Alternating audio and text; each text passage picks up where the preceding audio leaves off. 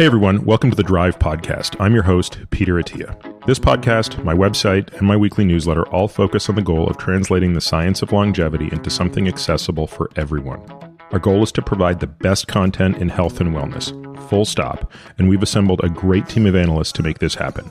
If you enjoy this podcast, we've created a membership program that brings you far more in depth content if you want to take your knowledge of this space to the next level. At the end of this episode, I'll explain what those benefits are, or if you want to learn more now, head over to peterattiamd.com forward slash subscribe.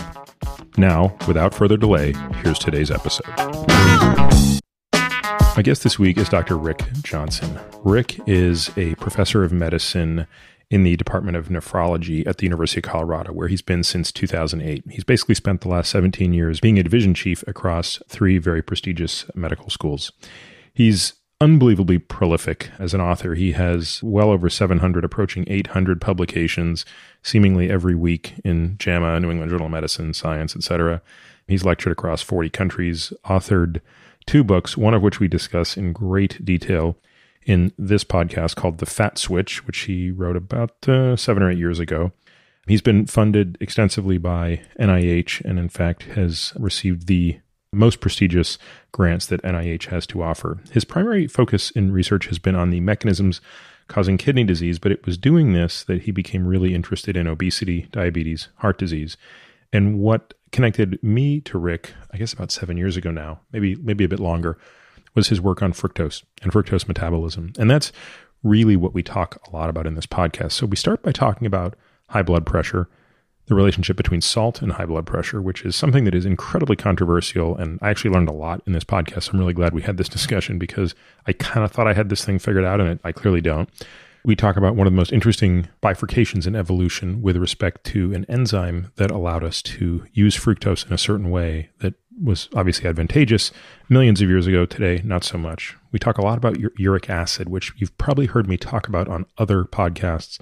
This will then be the master's class in it we talk about artificial sweeteners, and we sort of touch on some of the most promising ideas around pharmacotherapy that are being developed in response to the epidemics of metabolic disease, especially in response to sugar. So, this episode gets a little bit deep on some of the biochem. We're going to have, obviously, the show notes will, as usual, provide a great background and a list of references. And I hope you enjoy my discussion with Dr. Rick Johnson. Hey, Rick, thanks so much for opening up your office today and making time. It's great. I'm very happy to have you here. I've wanted to sit down with you for about a year in this format because I guess we've probably known each other for maybe about six years now. And every discussion has been one of those discussions where at the end of the discussion, I think, man, how am I ever going to remember all of this stuff? And how will I be able to sort of synthesize this to translate it into sort of what I'm doing? And I've said this sort of many times before. But that was the whole kind of reason that I started a podcast was I just found myself every week having a discussion with someone, usually scientists, where I thought this something's got to be shared. So you would certainly be one of the three or four people in indirectly that was a real catalyst for the podcast because of the frequency with which we would either have these dinner discussions or discussions over the phone. And so anyway, for that I want to thank you and hopefully the listeners do as well. But in the introduction I've set this up a little bit as to why this is such an important discussion and because there's so much to talk about, I just kind of want to jump right into the meat of things. It would be not an exaggeration to say you were one of the world's experts on fructose. And I guess I would just start with the why. Where did that interest come from? You've obviously been doing this for a long time and that passion has been sustained. So, what brought you to this point? Well, I'm a kidney doctor, so normally you, we wouldn't be studying sugar. So it was kind of a circuitous way that I got there, I was very interested in the cause of high blood pressure and had been known for a long time that high blood pressure is linked with kidney. And in fact, the going theory is for years was that the kidney in high blood pressure has a, a defect in its ability to excrete salt. And so that you end up retaining salt and that leads to elevated blood pressure. And when we were studying, trying to understand how the kidney handles salt in high blood pressure and so forth, we were trying to understand potential pathways. And we stumbled on the fact that hyperuricemia or elevated uric acid could be a very significant risk factor for high blood pressure. And when we started studying uric acid, we realized that when you raised uric acid in animals, they developed high blood pressure. From there, we started to try to understand what made the uric acid go up. And we knew from the literature that sugar and particularly fructose raised uric acid. So we started studying fructose and pretty soon we were so excited about what we were finding that we just kind of changed our research direction to focus more on how fructose has all of its metabolic effects. Well, there's a lot to unpack there. So let me kind of go back to bits of it. You sort of gloss over the fact that the conventional approach to high blood pressure is that sodium is the culprit. And isn't it still safe to say that most advice around reducing blood pressure comes down to reducing sodium intake? Well, we've actually been studying this pretty extensively. There's a lot of pearls I can teach you or I can talk about related to salt. And when I was in training, I was taught that you restrict a certain amount of salt. You should be on a low salt diet as a mechanism to prevent high blood pressure. It was always about the amount of salt. In fact, we were teaching that for a long time that if you want to have a low blood pressure, you should restrict your salt intake. Or if you want to try to treat your high blood pressure, you should restrict your salt intake. What's happened in the last couple decades has been the increasing knowledge that it isn't really the salt amount that makes a difference, but the salt concentration. So when you eat salt, like if you eat a salty soup, the salt concentration goes up in your blood first and it translates into a thing called osmolality. And so your serum osmolality goes up. So osmolality is sort of like the ionic pressure buildup in a fluid. Is that a way to? It's sort of like the number of molecules in a set of volume. So literally, when you eat salt, if it's really salty, let's say you have a serum sodium concentration of 140 millimoles per liter. If you eat a really salty soup, your serum sodium may go up to 142 or 143, what looks like pretty insignificant. But that actually is what triggers a rise in blood pressure. And so we've actually done the study where we took people and gave them soup with or without salt. And when they drink the salty soup, their serum sodium goes up and their blood pressure shoots up. How much would a person's blood pressure go up if their sodium went from 140 to 142? It's about six millimeters. Okay, so they'd go from 120 to 126. Yeah, and that happens acutely. And how long does it take to resolve? Uh, maybe a couple hours. So if we give, and we did this study, we published it last year. If you give salty soup with water so that the serum sodium doesn't go up, they got the same amount of salt. Guess what? The blood pressure doesn't go up. And the serum sodium does so not go up or right, does go up? Right, does not go up. So if you block the serum sodium from going up. So basically, the closer you can bring the total accumulated concentration of what you ingest down, the more likely you are to prevent this transient rise in serum osmolality and blood pressure. Yeah, well, it turns out that serum osmolality has a real major role not only in blood pressure, but also in, in obesity. And we're going to talk about that in a second. But when you take a high salt diet and your serum sodium goes up, it triggers a rise in blood pressure and it's working through the brain and actually through the liver and other sites too. Pause for a moment. Tell the listeners why it would be better to have a blood pressure of 120 over 80 than 140 over 100. Well, there's a pretty good epidemiologic data that shows that when your blood pressure is high, that you have an increased risk for heart failure and stroke. Those are the two major ones, but it also increases the risk for heart attacks and heart disease in general. Interestingly, there's a very significant inflection point. And what I mean by that is when the blood pressure gets around 160 to 180, right in that range, the risk for stroke goes significantly up and the risk for mortality goes up. And that's because our body tries to auto regulate to blood pressure. So when the blood pressure goes up, for example, the kidney, the arterioles will constrict to reduce the pressure load to the kidney. But when it gets to about 170, it will overcome that restriction and the blood pressure will injure the kidney. Likewise, the brain kind of responds to flow more. So it tries to maintain blood flow. But if the pressure gets high, it tries to protect itself from the high pressure by constricting. But when the pressure is like 170, the risk, it can't constrict enough and you don't want it to constrict that much because it has to maintain flow. And so the pressure ends up increases to the brain and increases the risk for stroke. Now, current guidelines seem even more aggressive. We would manage class one hypertension. We would consider something in the mid 130s to be treatable. Yeah. So let me get there. So originally, when the studies came out, it was very, very clear that if your blood pressure was like 170 or higher, that you had a dramatic increased risk for stroke. And that's because it would pass the autoregulatory point. But then what happened was epidemiologic studies showed that even a blood pressure of like 140 over 90 conferred increased risk. It just it was much less than the 170. So at 170, it just takes off. It's almost the line goes up vertically. But between 140 and 160, there is still a stepwise increased risk, but it's just a kind of a more gradual risk.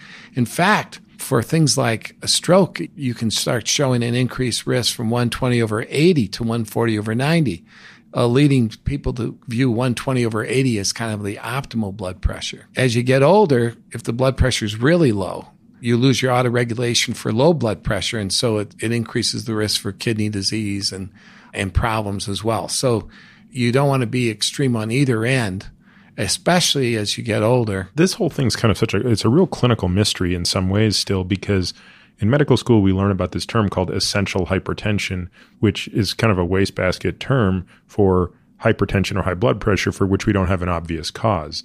The problem is, and so having sort of that wastebasket term would be okay if it accounted for the minority of cases, but then you get to the clinic and you realize everybody walking around with high blood pressure basically is getting labeled as having quote unquote essential hypertension. So it really is this epidemic without a clear description. Now we're going to come to a lot of reasons that, I mean, I think you have arguably one of the most compelling cases for what is at the root of essential hypertension. But for people listening to this, for doctors listening to this who treat hypertension, I feel like we just haven't made much progress in the 20 years since I've been out of medical school. There have been some real breakthroughs in the understanding of primary hypertension just in the last five, 10 years. And there's two major aspects I can talk about. The first one is that it does appear that salt really is important. And one of the key discoveries was that the kidneys are often normally handle salt fine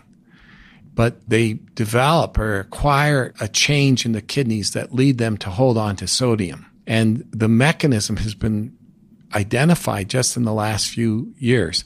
It's due to the fact that there's an inflammatory inflammation that occurs in the kidney. And that inflammation, which is driven by T cells and macrophages, causes a constriction of the blood vessels that leads to low grade ischemia in the kidney. And that ischemia can translate into increased sodium absorption, which then leads to high serum sodium and the effects. Is there a correlation between serum sodium and blood pressure across normal physiologic ranges of, say, 135 to 145 milliequivalents per liter? Yeah, I believe so. I'm not sure I can quote the paper, but yes, I think that's true. So, what you're saying is in people with high blood pressure that's otherwise viewed as quote unquote essential, there's an inflammatory response mediated by both T cells and macrophages right. That injures the kidney ischemically, meaning it for the listener that results in reduced blood flow and tissue damage due to reduced blood flow and reduced oxygen. And it's that injury that then leads to aberrant retention of sodium. So there's actually been really a lot of studies looking at the mechanism of the inflammation. And originally it looked like it was, people thought it might be a reactive response of the kidney. So we think that there may be external stimuli that initially cause a decrease in blood flow to the kidney, like a sympathetic nervous system response. You can do it transiently by giving medicines or drugs that can cause a constriction of blood vessels. When you do that, you get a transient reduction of blood flow to the kidney. That induces an inflammatory response that then causes persistent reduction in blood flow. And what we've learned in the last few years, and I'm an author in one of these studies, is that this inflammatory reaction can actually be an autoimmune reaction. And we've even identified certain proteins that there's an autoimmune response to, and one is a heat shock protein you can actually create high blood pressure in animals by inducing an immune response to this. And you can block the immune response and block the high blood pressure. And, and now there's even data showing that in humans that there's evidence for an autoimmune response to heat shock proteins in people with essential hypertension. Which is not to say heat shock proteins are necessarily bad because so many of the benefits we get out of sauna or exercise may be transmitted through these. But you're saying in a subset of people where the heat shock protein itself becomes the nidus for inflammation via an autoimmune mechanism. Yes. Yeah, so heat shock proteins are great, just as you say. They do all these really good things. But what happens is they're involved in the clearance of misfolded proteins and they're helping keep a clean system. But what happens is when you trigger injury to the kidney, for example, these heat shock proteins get produced to help fix problems, but the immune system can sometimes get confused and make an immune response that actually is against the heat shock proteins. And when that happens, you can develop high blood pressure in the animal, and there's some evidence for it in humans. So, anyway, so that's one of the big breakthroughs has been the discovery that inflammation in the kidney can be a mechanism for triggering persistent elevations in blood pressure and probably has a big role in the cause of primary hypertension. Before you go on, Rick, how prevalent do you think that particular mechanism is that you just elucidated? Oh, it's very major. In fact, we've even looked at genetic polymorphisms that link with the development of primary hypertension, and most of them are involved with the immune response. And it looks like this is a major pathway. This creates a bit of a quandary for someone who's trying to rid themselves of hypertension because wouldn't the implication of this be that exercise or things like exercise that induce heat shock proteins may paradoxically increase their hypertension? I don't think so. So hypertension is kind of a complicated pathway. So there's several different aspects, but exercise is extremely good for improving mitochondrial function, improving the ability for your blood vessels to dilate. It improves kidney function. The benefits of exercise are so much greater. And releasing heat shock proteins, that really occurs with very I don't know if just general exercise would have a big effect on heat shock proteins. Yeah, so you're saying basically the net effect of exercise is still going to far outweigh. Yes, absolutely. But I'd like to get back to this the link between salt and sugar, if I could. Okay, because there is this data, as I say, that salt, when it increases the serum sodium, is what drives the acute blood pressure response. And when the kidneys have trouble getting rid of salt, it's easier to get that effect with a salt load.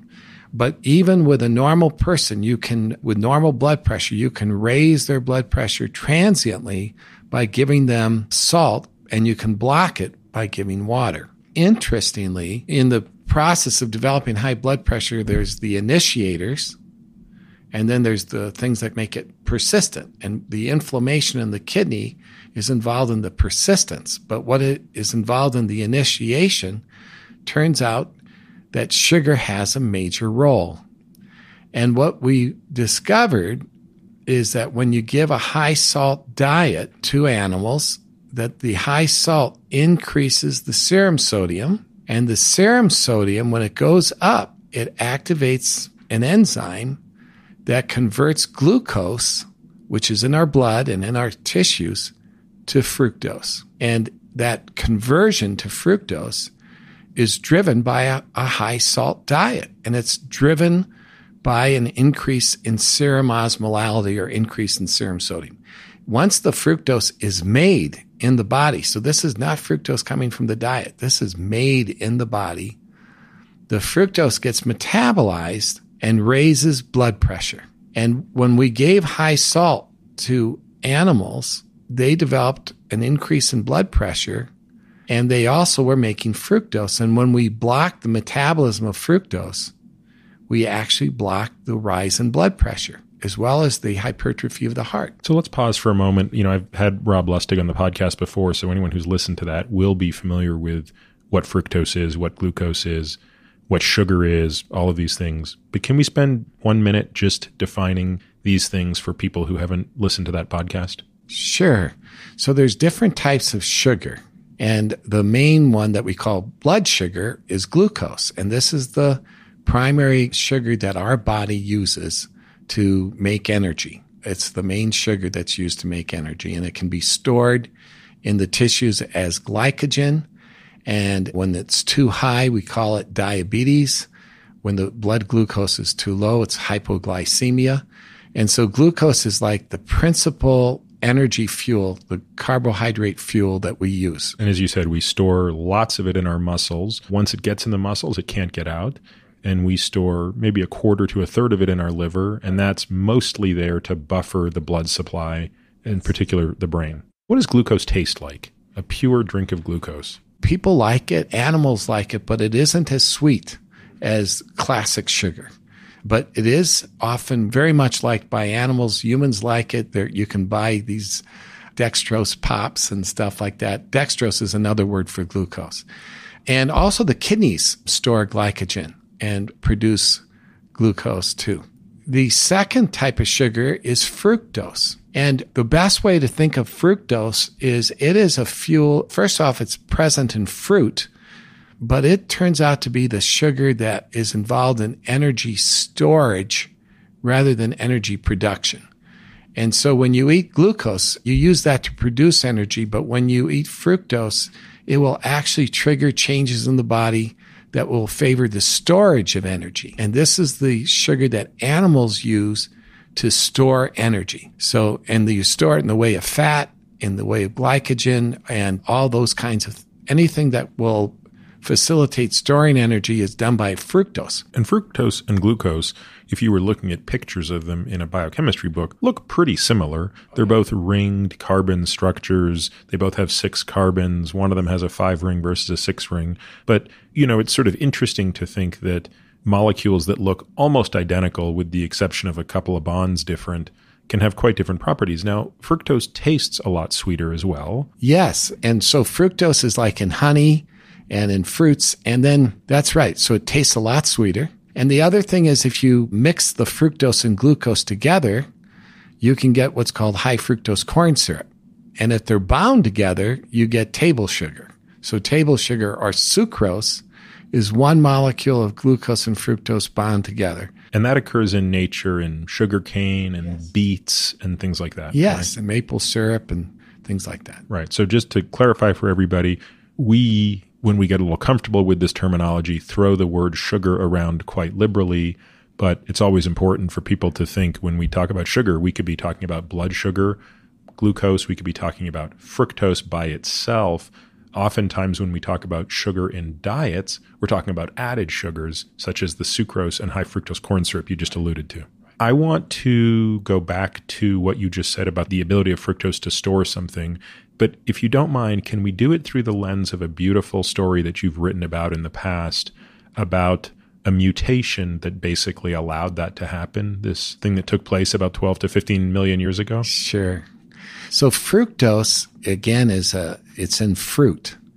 And many many animals use fructose as a means as their primary nutrient or and also as a way to help store fat. And for example, um, animals before they hibernate will often eat a lot of ripe fruit, and the ripe fruit gives them the sugar that allows them to store fat. And orangutans will eat huge amounts of fruit at one setting to try to increase their body fat. And we don't get fat from eating fruit, but that's because we eat tart fruit that has less sugar content, and we tend to only eat a few fruit. Whereas if we actually drink fruit juice, that large amounts of fruit juice can actually increase fat. So anyway, so fruit is a nutrient that, you know, is used by animals to help store fat. So if you go back about 20 million years ago, the very first fossil apes show up in the world and they, they show up in West Africa. And the original one was called proconsul. They were living about 22 million years ago and they were these apes were a big breakthrough in evolution because the prior, the monkeys were, had already been around, but these were bigger creatures. The apes were, they had bigger brain size. They were tailless, but they did live in the trees and they lived in tropical rainforests and woodland rainforests. And they would eat primarily fruit. And they were quite successful. And by about 18 million years ago, there were almost uh, at least 10 to 20 species of ape that were living in this area of Africa. There was a change in climate. There was some global cooling and the Antarctic started building up ice and the Arctic started building up ice and sea levels fell. And when the sea levels fell, land bridges developed that connected Africa, which had been separate, separated from the other continents. These land bridges opened up so that there was now a way to get out of Africa into Europe and Asia. And many, many species migrated across those land bridges about 17 million years ago and some of them were the apes. And we see the first apes fossils in places like Pasalar, Turkey, and different places of Europe right around 16 million years ago. At that time, there were still forests that were fruiting trees, woodlands. There was fruit all year round. And so the animals, when they moved into Europe, they didn't have to change their habits at all. They were able to continue to eat fruit pretty much all year round. But unfortunately, it continued to get cooler. And by 12 million years ago, the apes started to starve in Europe. And you can tell that from the fossils because they actually have these like tree rings on their teeth that are the de- developing teeth get this enamel. The enamel doesn't lay down correctly and they get these like tree rings that shows intermittent starvation. They would get a ring every time they would go through a period, and it, the starvation was seasonal.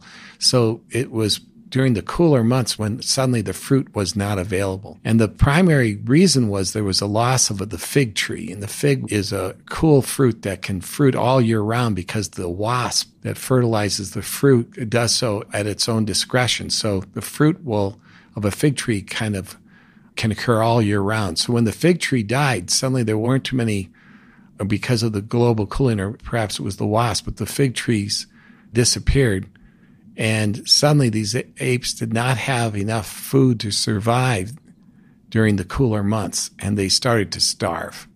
And by six to eight million years ago, the last ape became extinct in Europe. But Africa although there was global cooling there too, it wasn't as cold and the fruit trees survived all year round. The forests just retracted. So the apes there were able to maintain their normal habits. Well, there was a lot of evidence that there was a lot of evolutionary change occurring in our ancestors during this Miocene period and this period of time when there was the global cooling. And one of them was a mutation in uric acid metabolism. And as I mentioned, sugar and particularly fructose, when it's metabolized, generates uric acid. Glucose, when it's metabolized, does not, but fructose, when it's metabolized, makes uric acid. And this mutation led to a much stronger uric acid response to fruit because this mutation was of an enzyme that degrades the uric acid. And when you block that and you eat fruit, your uric acid levels go up much more. And this mutation basically allowed these apes to maintain a very prominent uric acid response. Our group has shown that the way fructose stimulates fat, as well as its other properties like insulin resistance and raising blood pressure, that those abilities are driven in part by the uric acid. So when this mutation occurred, for the same amount of fruit, they were able to store more fat. And so it was like a survival mechanism for this mutation when it showed up. It allowed apes that did had very little access to fruit to suddenly maintain more fat stores and so they could live longer and survive those winters. And we were able to show with Peter Andrews at the Natural History Museum in London, who studies these apes, that this might account for a very interesting finding. And the finding is that although we thought the apes became extinct in Europe, and they certainly did become extinct in Europe, the fossil record shows that it was a European ape that made it back to Africa and also to Asia to become our ancestors as well as the ancestors of, of, the great apes that live in Africa and in Southeast Asia, like the orangutan, that they all came from a common ancestor that was in Europe and that went back to Africa. And we know from the genetics that that ape carried the uricase mutation.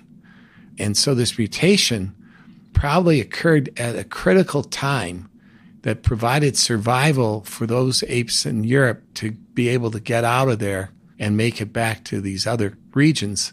But it was now equipped with this mutation that made it sensitive to sugar. And so humans are much more sensitive to sugar than most animals. And it's because of this mutation. And in fact, we actually resurrected the extinct uricase and proved this using the extinct uricase that showing that when you put it into human cells, that it suddenly made us less sensitive to fructose. So, so the phenotype there, I mean, I guess just to recap that story, which I find so fascinating, by the way, you guys wrote a story about this in Scientific American many years ago, right? I know there was a paper that came out as well, but I mean, the sort of the layperson version in SciAm was really great. So basically, these apes go from Africa up to Europe. It gets too cold we sort of think they die out, but the evidence emerges actually a sub sub subset of them developed a mutation in uricase that gave them a superpower, which was now they could be much more efficient at turning fructose into fat. They had this little byproduct, which is they would also make a boatload of uric acid along the way but they actually came back to Africa and ultimately seeded the rest of the species. And ultimately, that's why we as humans are among the very rare animals that have uric acid levels that are quite high relative to cats and dogs, for example. Yes, that's exactly correct. So, when we were in medical school, Rick, we learned a lot about uric acid through the lens of a disease called gout and it didn't get a lot of airtime in school. Maybe it gets more today, but at the time it was basically gout is a disease of civilization. It's from eating too much meat, and there's no real problem with it except for the nuisance of your toe hurts because uric acid crystallizes, it gets inside joints. It seems to favor the first joint of the great toe and it's a very painful inflammatory condition and it's what happened to sort of the wealthy people of the last few hundred years as they started getting and acquiring too much meat and protein. And that was sort of the story. What you're describing is a little bit more nuanced. So tell us more about uric acid. Yeah so the big problem with having too much uric acid is gout just as you say. And all the animals that have the uricase mutation are prone to gout but humans in particular are very prone to gout. And it's because of our diet. So we do eat diets that are high in meat and purines that increase our risk for gout. Can you tell folks what purines are specifically, since it always shows up in this terminology? Sure. So we have proteins, we have fat, we have carbohydrates, but we also have things like RNA and DNA and what we call nucleic acids. So these are the kind of acids that are in the nucleus and that are also in the cell that help drive gene formation and protein, you know, our genetic material and also help dictate the production of proteins. And so DNA and RNA are made up of nucleic acids. And when they're broken down, they're made up of purines.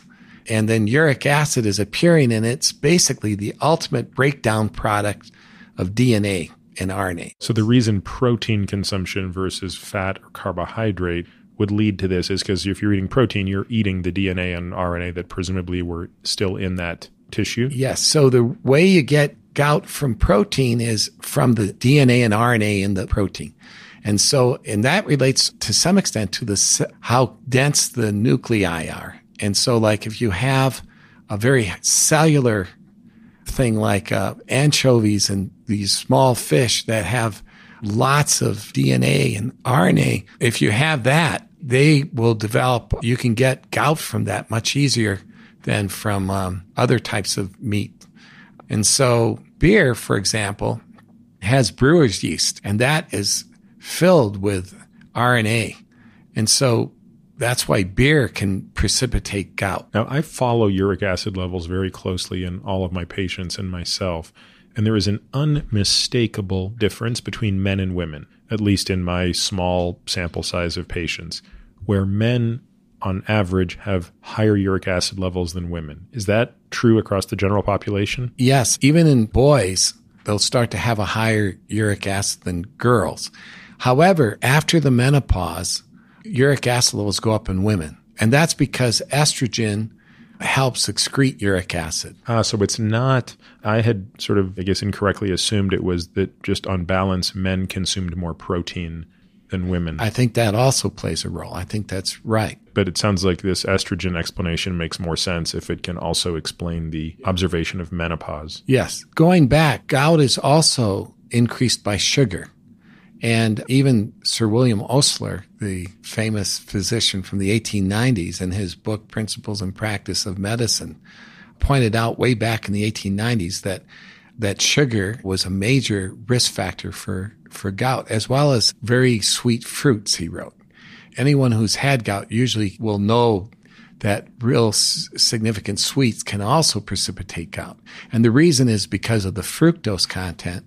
And when the fructose is metabolized, it generates uric acid. When people were developing gout in the 1800s, it was linked to the wealthier groups in England, for example.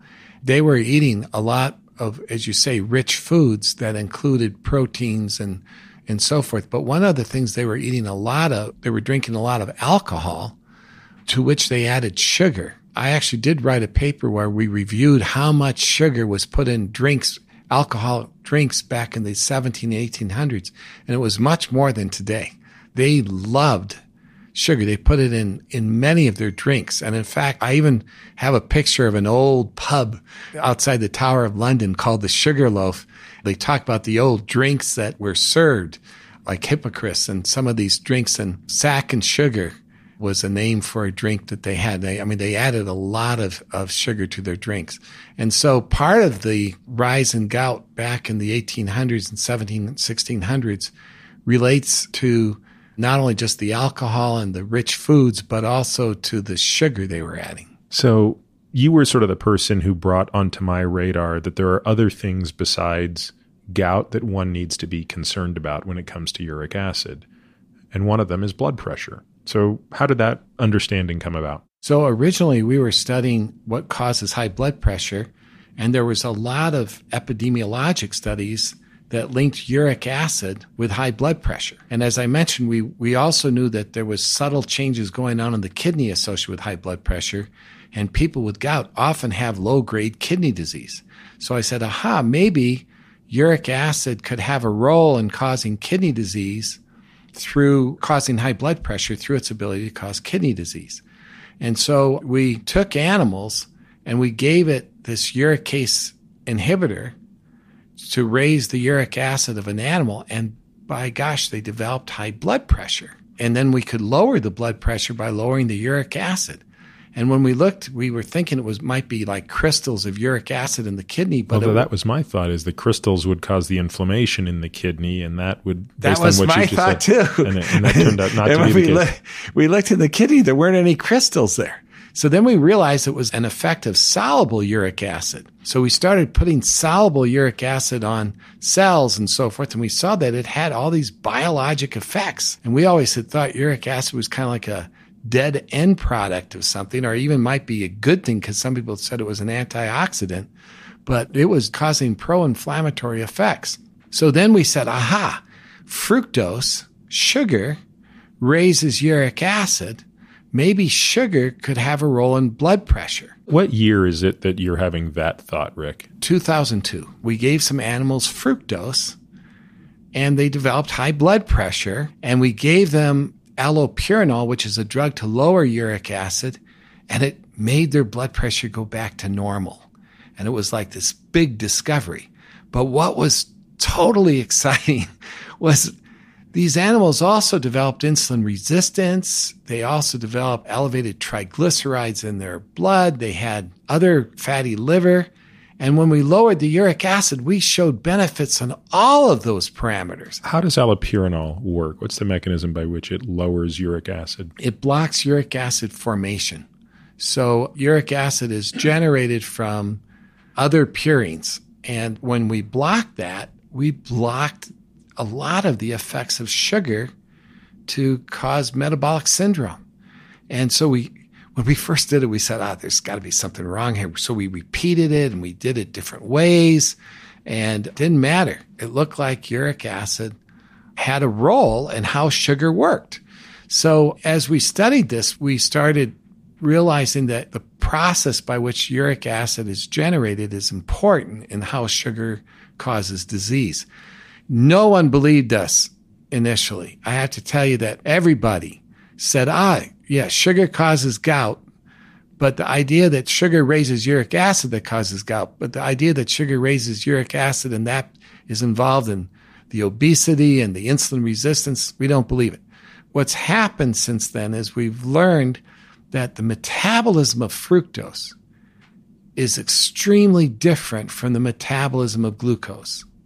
The two look alike, but when fructose is metabolized, there's this process that causes the energy in the cell to fall before it goes up. So normally when you eat a calorie, when you eat any kind of nutrient, we use it to make energy. That's what we do. But when you eat fructose, the energy in the cell falls before it goes up. It's the only nutrient that lowers energy in the cell. Say more about what you mean by that. So, are we talking about a cell in the liver, for example? Yes, I'm talking about the cells that metabolize the fructose. Okay, so we'll contrast it with glucose. So, if glucose enters a cell, it gets turned into pyruvate and ultimately ATP is made. So, you're saying total energy goes up as a result of metabolizing that glucose. So, whenever you metabolize any kind of calorie, any kind of food, you eat food, you're going to metabolize it to make energy. That's what we do. We try to break down the food and we use it to make energy. That energy is called ATP.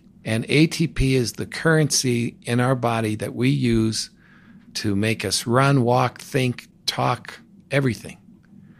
So this ATP is pretty critical. But to make ATP, you have to spend a little of it to make it. So the process of breaking down and metabolizing food or glucose or fructose or requires spending a little bit of ATP before you make it. Well, what happens is when you metabolize glucose, you do spend some ATP, but the body has a system whereby feeds back to stop the process before any significant ATP depletion occurs. So, for example, there's an enzyme called phosphofructokinase that's used in glucose metabolism.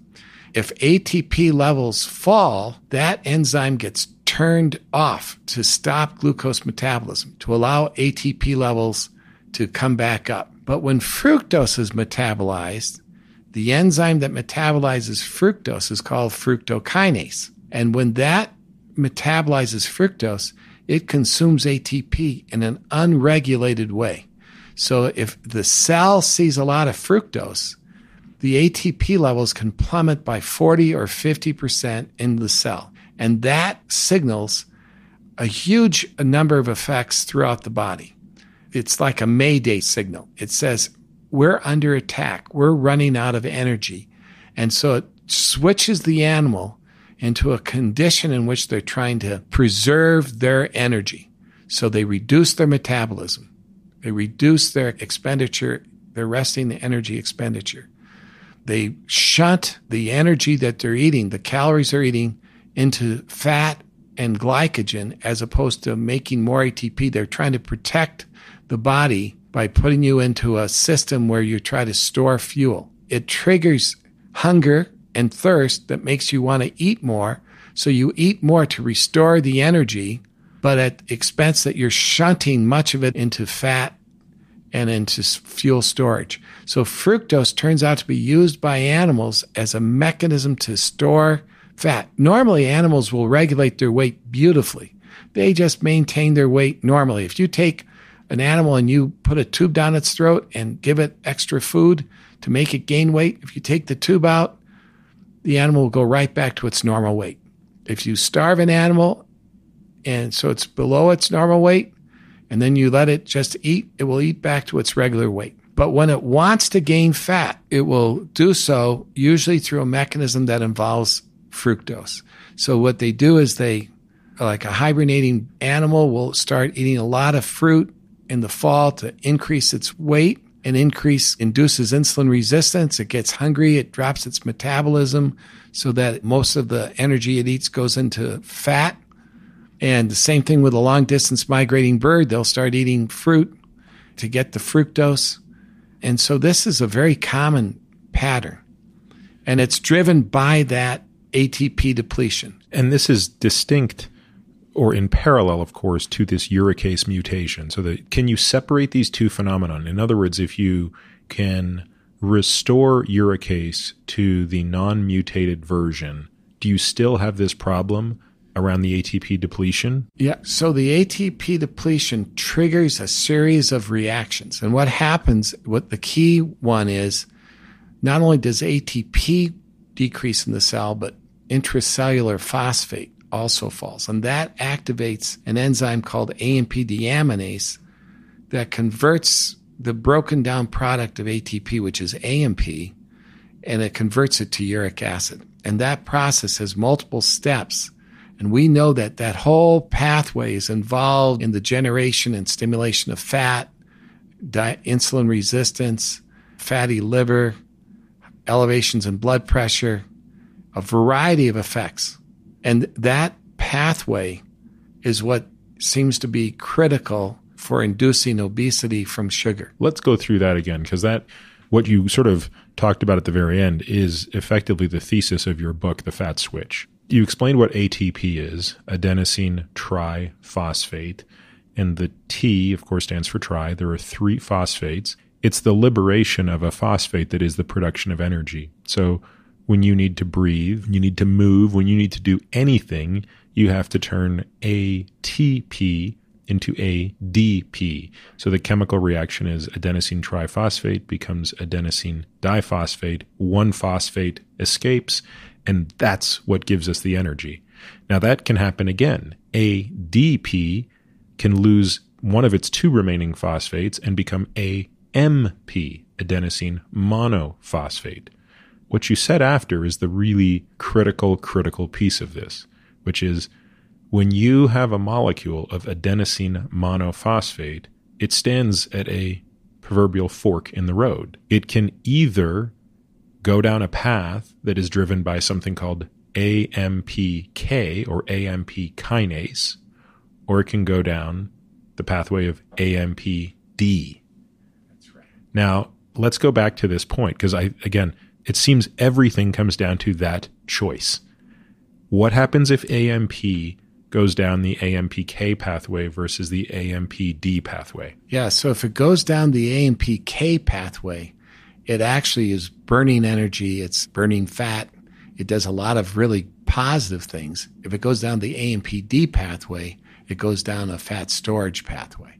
So it's their exact kind of opposites. AMPD, if you stimulate it, it will cause insulin resistance and eventually diabetes.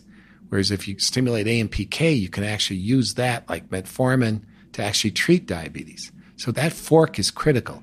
And what drives that switch is the fall in intracellular phosphate. And the reason that phosphate falls is because it's taken up in the fructose 1 phosphate, or it's taken up by fructose. So the fructose gets phosphorylated by the ATP and it becomes fructose 1 phosphate that sequesters phosphate. And there is this process where both ATP levels fall and intracellular phosphate falls, and that triggers this AMPD pathway. And if we interrupt the AMPD pathway, we can block a lot of the metabolic effects. Do other animals also have this phenomenon? Oh, yeah. No, we can show this. We actually showed it in hibernating squirrels. So when a squirrel wants to gain weight, it will activate the pathway for AMPD. When it's hibernating and burning the fat, it activates the AMPK pathway. I got it. So even though humans and our most close descendants in primates have the uricase mutation, this ability to toggle between AMPK and AMPD is unique to any species that has the potential to gain weight and wants to use it to their advantage. Oh, absolutely. Part of the pathway through which AMPD is working involves the generation of uric acid. So we know that the uric acid, when it's going up inside the cell, is doing all kinds of biologic effects, and the AMPD is driving that. There may be other things besides the uric acid. So the hummingbird or the squirrel can still store fat. They just don't get the bump in uric acid that comes with it because they don't have the uricase mutation. Well, actually, the hummingbird does have the uricase mutation. Oh, really? Yeah. I don't know my evolution well yeah. enough. So birds have birds the uricase. bifurcated off. Yeah, after and rep- reptiles have the uricase mutation. Even dinosaurs had the uricase mutation. Sue, the dinosaur, the Tyrannosaurus rex, actually had gout I mean, that's got to be why Tyrannosaurus rex was so ornery. Because if you think of the size of the T Rex great toe, I mean, that would be infuriating to every brontosaurus out there. Yeah, I think so. He's eating too many of the brontosauri. Sorry to get back into the minutia of this, but I, I, it's important. You still have to phosphorylate glucose during its metabolism. Why is it that the phosphorylation of glucose during its metabolism to pyruvate doesn't result in a strong enough drop in intracellular phosphate to cause the same problem? Because uh, the reaction stops. Whenever there's um, the phosphate and ATP levels start dropping a little bit, you bit. have that autoregulatory thing with the. There's an autoregulatory thing with it. The enzyme stops functioning, it's inhibited, and then that allows the ATP levels to stay normal. So here's a really cool follow up of this, and that is that sugar is much more likely to cause obesity if you drink it rather than if you eat it. And the reason for that is that when you drink a drink that has fructose in it, we tend to drink a lot in a short period of time. So if you have a soft drink, you can drink, not only does it have a lot of sugar, but we tend to drink it fast. And so the concentration of fructose turns out to be high when it gets to the liver. And it's the concentration that triggers this reaction. So if the concentration of fructose is really low, the ATP depletion may not be significant to drive dramatic metabolic effects. But if the concentration of fructose is really high, then you're going to get a big metabolic effect. So, eating like a candy bar where it's coming with lots of fat, lots of glucose, lots of all sorts of things, lots of protein, you know, if it's like a Snickers bar and it's got nuts or whatever, even if it's the same amount of fructose, even if you're talking about 25 grams of fructose versus 25 grams of fructose you would drink very quickly, you're saying equal amounts of fructose can produce a different effect if both the speed and the concentration with which they arrive at the liver are different. Yeah, it's the amount, it's the speed, and it's ultimately how rapidly it's absorbed. So if you drink something, if you take a lot of fructose, like, I mean, candy is very concentrated fructose. I mean, if you eat that, for example, on an empty stomach, that will be absorbed faster than if you eat it with oatmeal or something, you know, where there's fiber and so forth. And so the speed of absorption and the makes a difference. So, for example, if I was working for a high fructose corn syrup company and I wanted to prove that a soft drink wasn't bad, I could do a study where I would give the soft drinks to people, but I would give it over. You're only allowed to make a tiny sip every 10 minutes. So it takes you three hours to drink a soft drink. In that case, the amount even though you're drinking a lot, the concentration may never be yeah, enough. You never let the phosphate depletion get significant enough in magnitude that it really triggers AMPD. Yes, that's it. You know, it's really interesting. I think of all the sugar, the pro sugar studies I've read that are funded by the sugar industry, I don't think I've ever dug into the methodology to look at factors like that specifically. Well, the other issue is like if you just take a single dose of fructose, most of the metabolic effects are best seen like in the first four hours following the ingestion. So the triglycerides go up and the uric acid goes up and the blood pressure goes up. But if you just do a single dose study, if you then look the following morning where the effects have now kind of come back down, then you can't really show it. In a lot of these studies, they design it that way. So they say, aha, fructose doesn't raise uric acid, but we measured it after fasting overnight. But the surge in uric acid occurred earlier. So that's the one, common trick.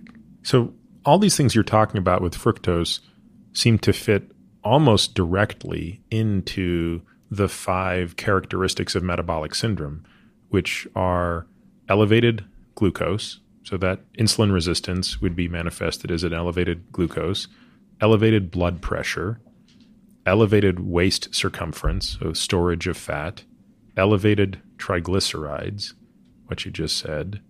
And the only one we didn't address is low HDL cholesterol, which is the fifth finding. Now, of course, three out of those five are sufficient to put you in the category, but fructose does all five. What is the mechanism by? So you've already described the mechanism by which it does three of them. We alluded loosely to how it raises triglycerides, but I'd like to talk about that more. And then, of course, I'd like to hear how it lowers HDL cholesterol. Okay, so the uric acid generated by fructose has a very pronounced effect to stimulate oxidative stress in the mitochondria. And fructose also generates lactate big time, and the lactate also has effects on mitochondria, as you learned from Dr. San Millán's talk. And in addition, fructose preferentially decreases mitochondrial function and stimulates glycolysis. And so all those things cause you get this big oxidative stress to the mitochondria. And there's an enzyme in the mitochondria that drives fat oxidation called enoyl CoA hydratase. I mean, sorry to throw it out there. Yeah, this I'm is so we're sorry, here. No, no, man. no. We're here to talk about it. But basically, um, the oxidative stress inhibits that, so fatty acid oxidation goes down. So you block fat burning, and then in addition, you block an enzyme called aconitase with oxidative stress to the mitochondria, and that increases citrate, which drives fat generation. And so you end up with fatty liver that's driven by both increased fat synthesis and a block in fat burning. The mitochondrial oxidative stress also is very much linked with the development of insulin resistance. And then uric acid is also, the generated uric acid is also causing oxidative stress to the islets, to the pancreatic islets as well. Uric acid is actually harmful to the islet cells of the pancreas. Uh huh. In fact, if you give sugar, we did a study where we gave sugar to animals where we, we actually restricted the amount of calories. The rats were getting, they were on a diet, basically. They were on a diet. They were on a high sugar, low calorie diet. Right.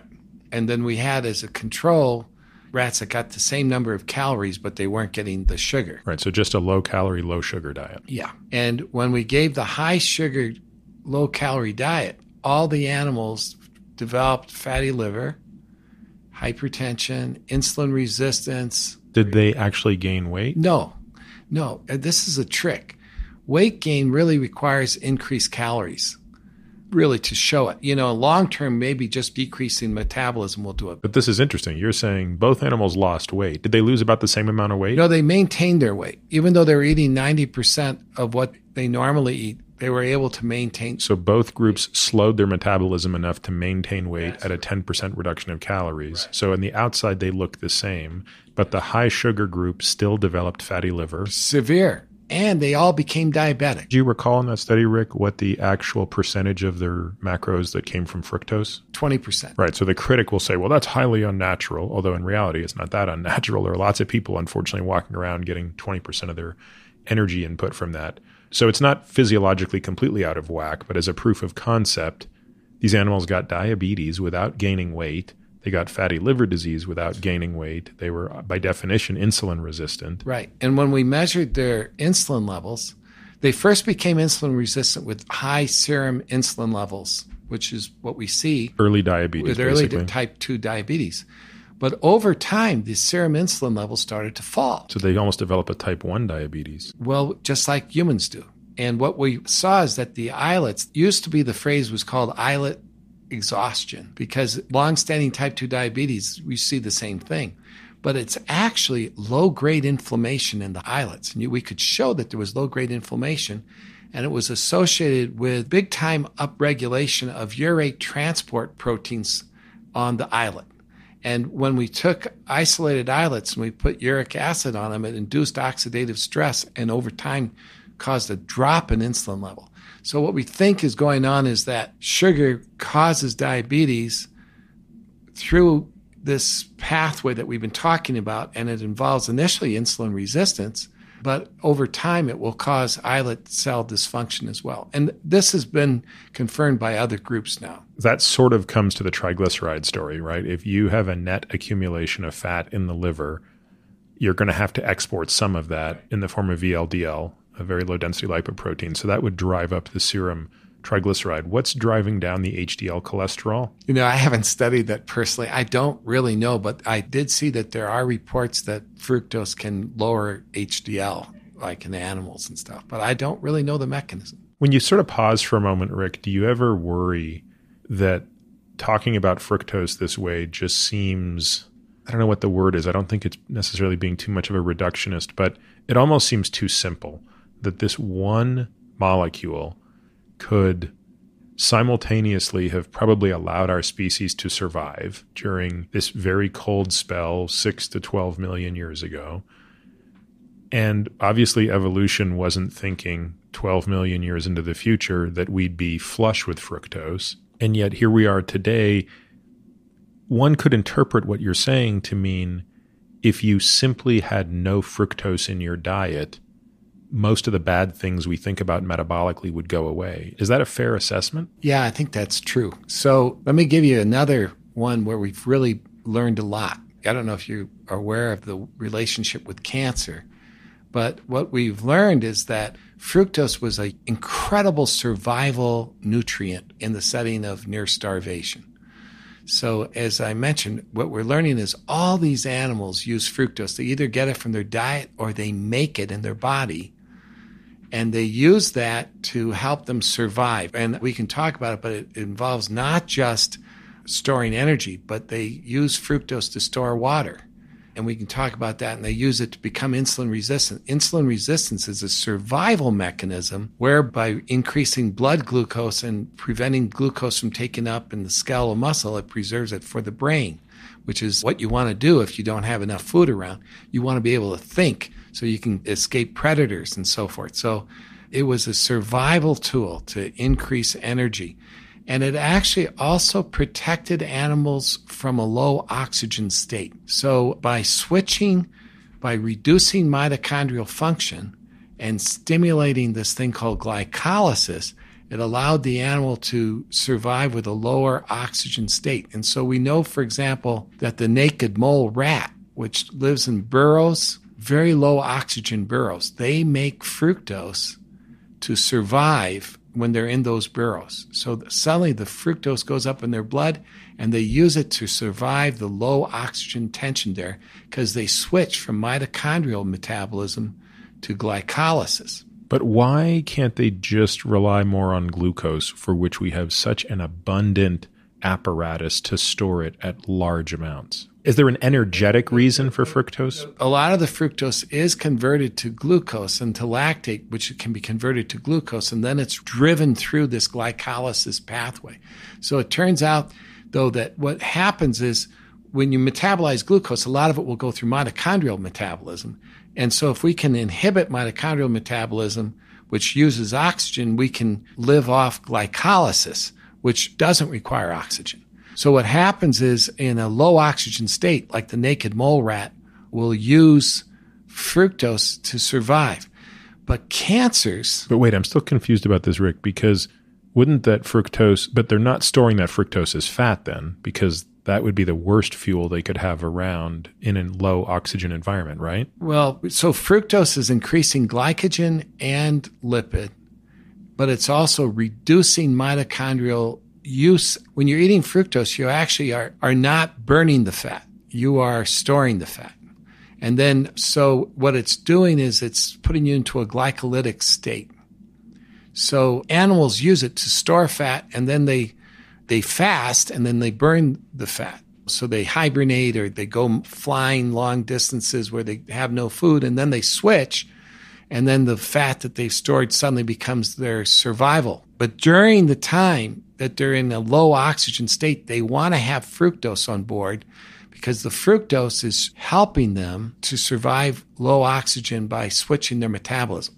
But unfortunately, like cancers, also live in a low oxygen state. And so these cancers love fructose as their fuel because it helps support them surviving in a low oxygen state. So recently, it's been shown that many cancers, colon, liver, kidney, breast, brain, all these cancer cells, intestinal, they all tend to like fructose as, as their preferential fuel. There was just a paper in Science a few weeks ago, and if you block that fructose pathway, the cancers don't do as well. And when you say block it, do you mean block fructokinase? Yes. Which pathway specifically? The fructokinase. So if you take intestinal colon cancer, you put high fructose corn syrup on it, they love it. They grow, they metastasize.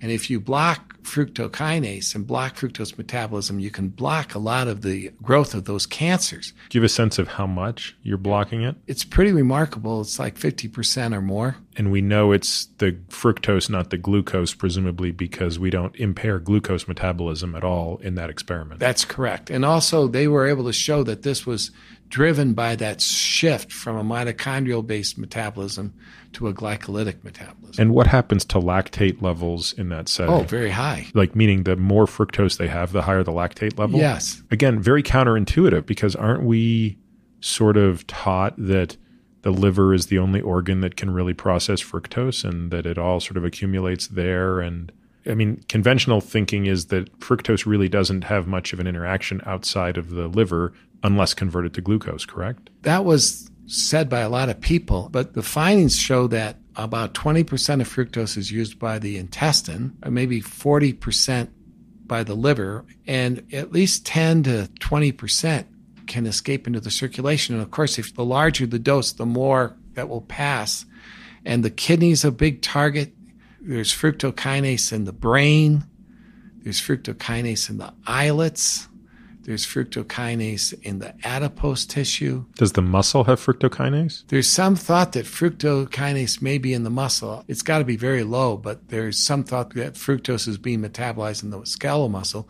And one of the things that's interesting is there was a paper in Nature that showed that the heart normally doesn't have fructokinase, but when you have a heart attack, the low oxygen state there induces the fructokinase, and there's probably production, endogenous production of fructose, and it seems to be involved in cardiac remodeling. So it's probably involved in more things than we think of. And certainly it's in the brain. Which means that in theory, the brain could actually use free molecules of fructose to make ATP in addition to the mainstay of its energy metabolism, which is glucose driven, and lactate. I think we're now seeing lactate. There is actually some evidence that first off, we know that fructokinase is in the brain. We know the brain can make fructose. And there's increasing evidence that insulin resistance is, can occur in, just in the brain and may be a forerunner for the development of Alzheimer's. And there are actually reports that AMP deaminase is high in the brains of Alzheimer's patients.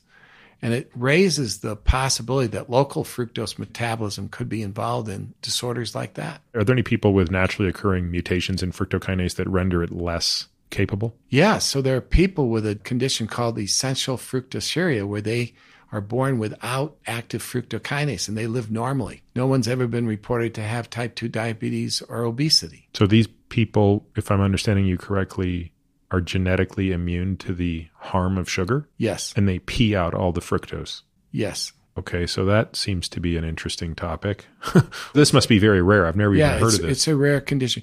They actually don't pee out all the fructose. Some fructose can be metabolized by an enzyme called hexokinase, which is normally metabolizes glucose. But fructose is preferentially metabolized by fructokinase. So these people have very sweet urine. Going back to Osler, had he tasted their urine, he would have confused them potentially with an even sweeter version than the people with ultimately type 2 diabetes. They, that's how they were discovered because they would have reducing sugars, which was fructose in their urine, that was picked up with the old tests they used to use for diabetes, but then they didn't have diabetes when they tested them. And these people could literally just consume all the sugar they wanted, and their uric acid's not going to go up, their blood pressure's not going to go up, their trigs don't go up, they don't gain weight, they don't become insulin resistant. That's right. So, is there any benefit to having fructokinase if you're not hibernating or in a world where famine is potentially coming your way? it's really a survival enzyme that was meant to help in situations where there was food shortage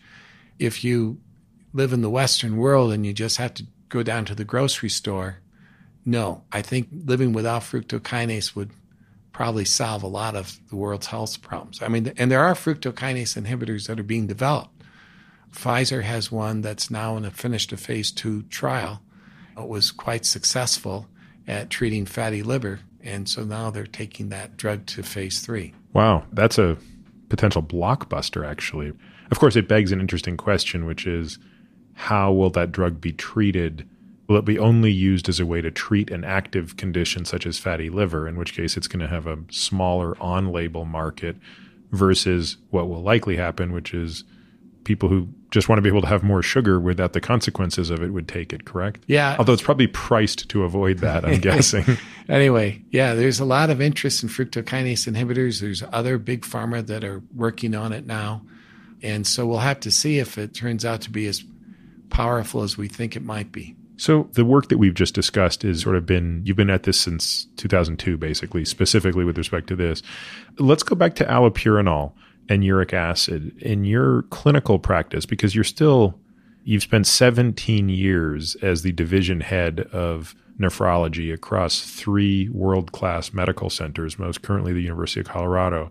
And yet I was surprised to learn over dinner the other day that you still have a very pretty heavy clinical practice. You still actually take care of patients in the inpatient ward and you probably spend a quarter of your time in clinic. So, how do you put some of this stuff into practice? Do you liberally use allopurinol even for patients who have high uric acid but have not developed gout yet? I do. So, our data strongly suggests that lowering uric acid could be beneficial.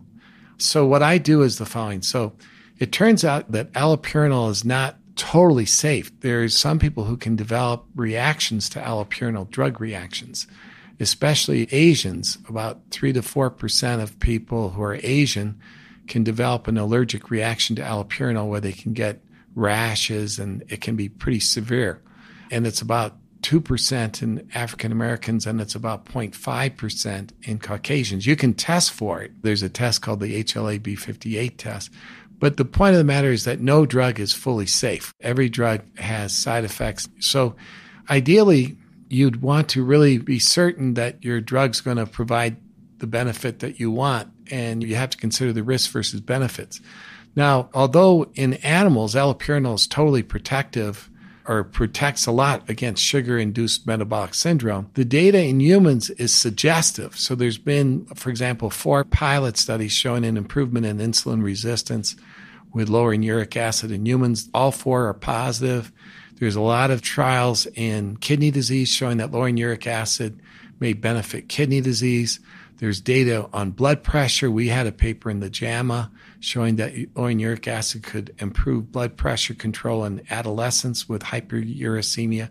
So there's a lot of supporting data. There are some negative studies too, but the overall weight is now in favor of lowering uric acid to benefit. What would the target be? So, what I do is when I see a patient in clinic, I measure the uric acid. And currently, we know that the risks start to go up when the serum uric acid is over 5.5. So, once the serum uric acid is over 5.5, they really start to have increased risk for prediabetes, insulin resistance, hypertension, kidney disease, etc. And what's interesting is most labs, like my lab, for example, doesn't even flag it until it hits about 6.5 as a sort of intermediate risk. And it's really not until about 7.5 that it says, well, this is high risk. But of course, that's only through the lens of gout, I assume. Yes, that's right. So if a uric acid comes back really high, like 9 or 10, I have no doubt that that, based on everything I've done, I have no doubt that that's not good you not only does it increase the risk for gout, but it increases the risk for kidney disease and all these things. And I talk to the patient about the pros and cons of treatment. I talk about the rash. I tell them to stop the drug if they get a rash and then call me. But I always start allopurinol when the uric acid is like eight or higher, and certainly when it's nine or higher. When it's between 5.5 and 8, I'll talk to them about the pros and cons, but we don't have full proof yet. But I tend to do it especially with patients with kidney disease where the data is probably the strongest to start treating. I'll even do it with uric acid of six and a half, for example, with chronic kidney disease. But anyway, it's worthwhile discussing it with the patient. But outside of outside of the risk of Stevens Johnson syndrome, which you've alluded to, what are the other potential risks of allopurinol? That's by far the big one. Some people will get just a mild rash without true Stevens Johnson syndrome. There are rare cases where liver function tests may be elevated, but it seems to be rare. If you start at a huge dose right away, it can increase xanthine levels in the urine. Theoretically, there could be risk for xanthine stones, but I've never seen it. So it's really the risk of Stevens Johnson that. And do you have to use allopurinol or can you use Uloric or other drugs that also lower uric acid? Well, the xanthine oxidase inhibitors are the best because the way uric acid works to cause cardiovascular disease and kidney disease and all these things appear to be through its actions inside the cell. As we said, works on mitochondria and it does all these things. It's not its work outside the cell. So gout is really an extracellular deposition. But when you're thinking about uric acid and its biologic effects, that's an intracellular action. So xanthine oxidase makes uric acid inside the cell. So one of the best ways to reduce intracellular uric acid is to give a xanthine oxidase inhibitor like allopurinol or febuxostat. Now, febuxostat, I think it's probably just as good as allopurinol, but there was a big clinical trial that was published in the New England Journal that showed that allopurinol was associated with less cardiovascular risk than febuxostat. There seemed to be an increase cardiovascular events in the febuxostat group. Meaning less of a reduction or more events? Well, see, the problem was there was no placebo group. Oh, yeah, that's a disaster. That, that's a disaster. This is the Vioxx problem Yeah. with naproxen. Yeah, yeah. I mean, so the problem is allopurinol is less than febuxostat, but there's no placebo group. Theoretically, the placebo group would be Could be higher than both of them. yeah, it could be higher than both of them. And there's actually evidence that that's probably true. But because of the CARES study, the way it was designed, we don't know. So the FDA is worried about giving febuxostat to people with cardiovascular problems because they would prefer you to give allopurinol. But the trouble is, it's not necessarily that febuxostat is bad. It's just that it's not as good as allopurinol. And it's like a hundred thousand times more expensive too. I mean, it's a. Although it's, I think, becoming generic now. So we may see a change in that. I believe it when I see it, and of course, will you trust the generics? But that's a whole separate issue. Exactly. So, what about uh, sodium restriction? Going back to how we started the discussion, I'll tell you a story from, I may have even told this on the podcast once before, but in medical school, I remember when we were doing renal physiology, we had a great nephrology professor who was teaching something. And I think he was quite ahead of his time because this was more than 20 years ago. And he was not sort of part of this salt is bad bandwagon, even though he was a nephrologist. And in a, I won't do it because I won't do it justice, but in a beautiful Southern accent, he made the point that if you lined up all of the nephrons in the world, all the functional units of the kidneys in the world, from dumbest to smartest, and then all of the nephrologists in the world, from dumbest to smartest, and you took that dumbest nephron and put it next to the smartest nephrologist, it's still smarter. His point being, of course, like the kidney is a brilliant organ that is exceptional at autoregulation of everything from flow to osmolarity to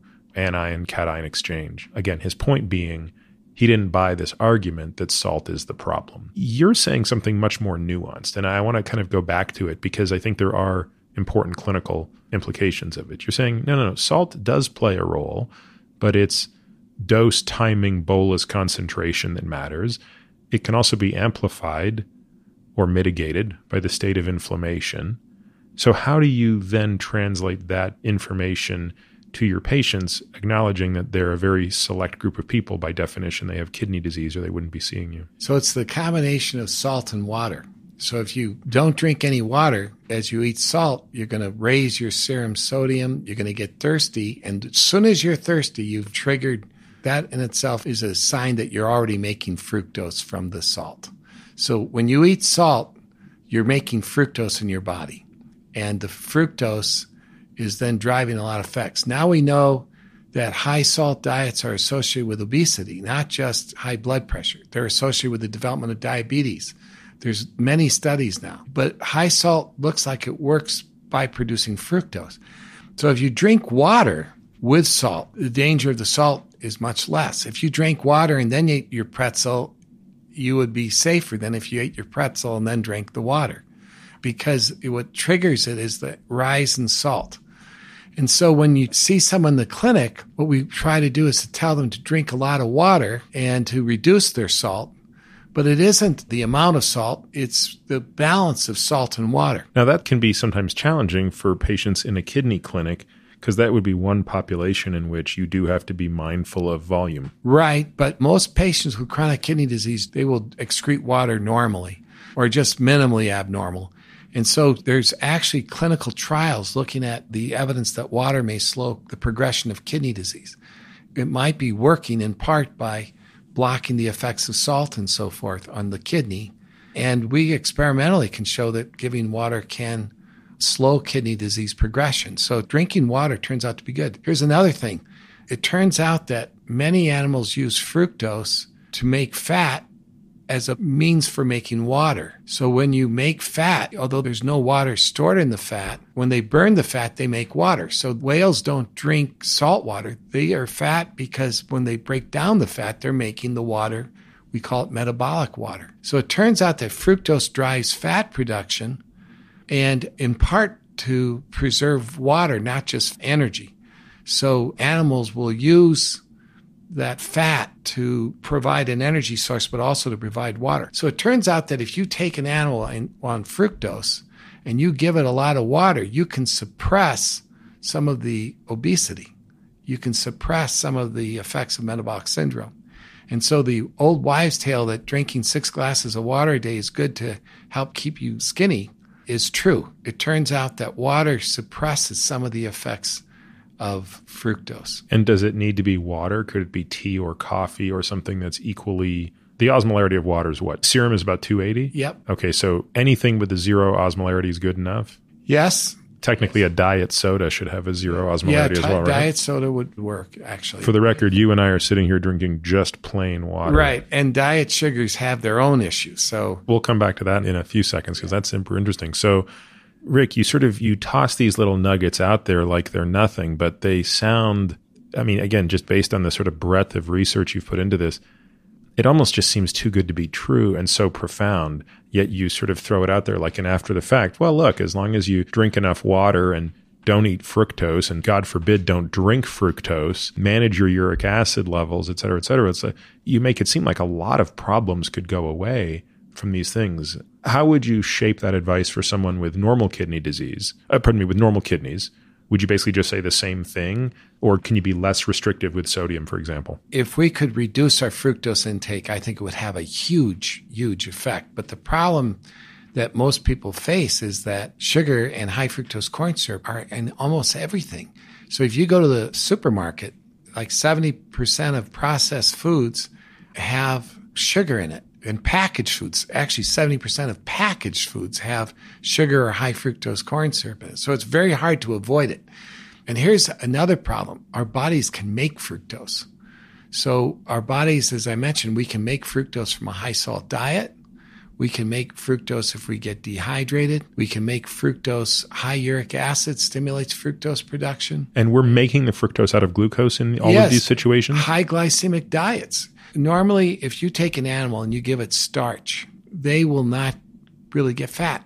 But we all know that French fries, which don't have sugar in it, they don't have fructose, they are fattening. But you've got potatoes, which raise your glucose. And what we showed is that if you just give glucose to an animal, the high glucose as it hits the liver induces this enzyme to convert glucose to fructose. Which enzyme is that that converts glucose into fructose? Aldose reductase. So when we took mice and we gave them glucose, and we were thinking we might not see much because we were believing that fructose is the culprit. But over time, these animals got really fat. They got insulin resistant, everything. But you had to overfeed them glucose. They, we put the glucose in their drinking water. So they were drinking a lot of glucose. But they would eat less chow. So we gave them chow and glucose in their drinking water. And their chow had, it was normal chow. It wasn't the high fat, high sugar chow. No, just regular chow. And these animals started getting really, really fat. And when we looked at the portal vein, which goes into the liver, the glucose levels were high. And when we looked in the liver, we found that this enzyme was activated. It's also activated in diabetics, for example, because of the high glucose in the blood. And when that enzyme got activated, it started to make fructose.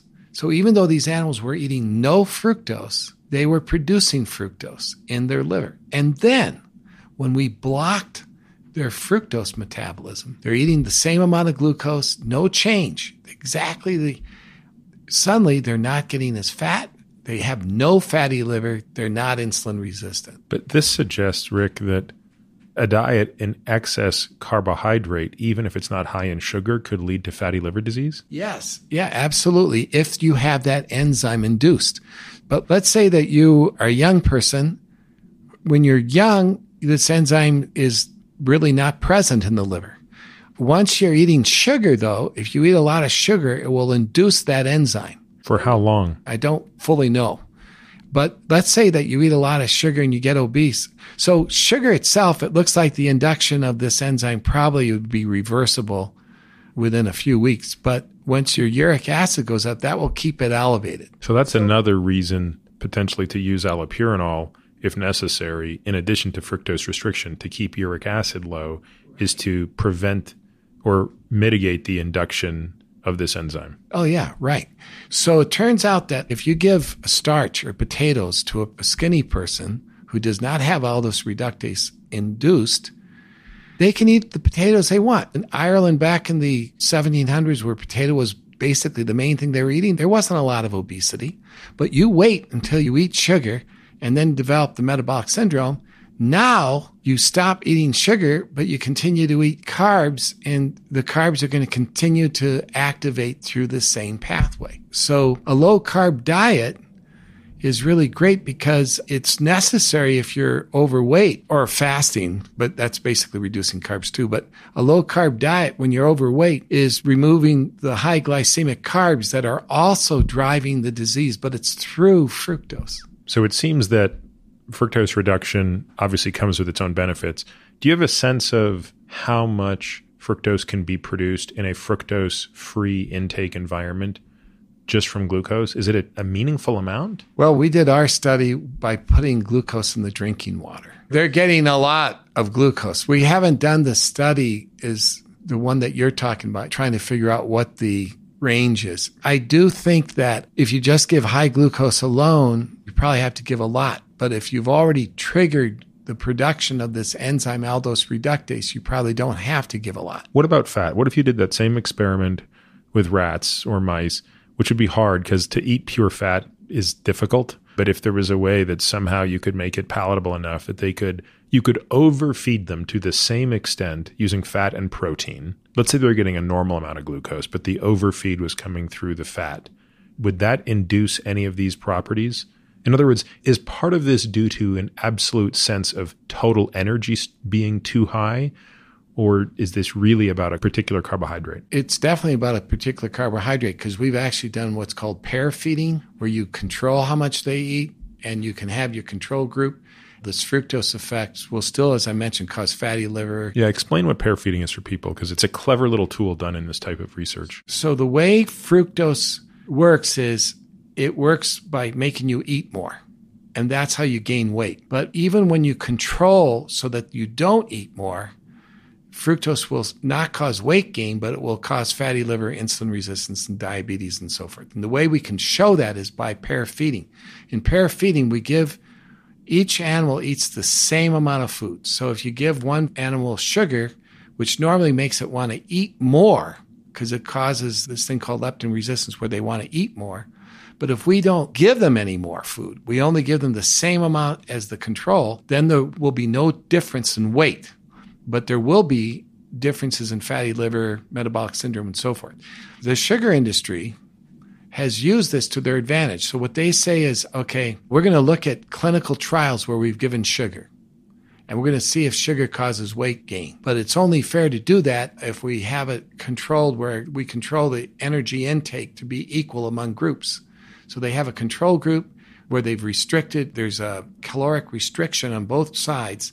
So you have a high sugar and a non high sugar group, but it's not where you get to the people get to eat as much as they want. Basically, is this problem of not having ad libitum feeding. So yes. it's sort of like what the sugar industry is saying is look, a calorie is a calorie. If I give you 100 calories of sugar and completely control what you can eat in response to that and compare you to another person who's eating the same number of calories, you're really not going to gain weight. Then the problem with that experiment is it's not the real world. In the real world, you don't have a clamp on your response. Exactly. And so when you give sugar to animals, they become leptin resistant over time and they lose their ability to control their appetite. So then they eat more. And so then their weight goes up. But the fructose is also doing stuff where even if you control for the weight gain, they still get the fatty liver and stuff, which the controls don't. Now, a second ago, you sort of alluded to artificial sweeteners. So, comparing, I mean, I'm sure you get this question asked all the time by your patients, which is, I just really love Coca Cola.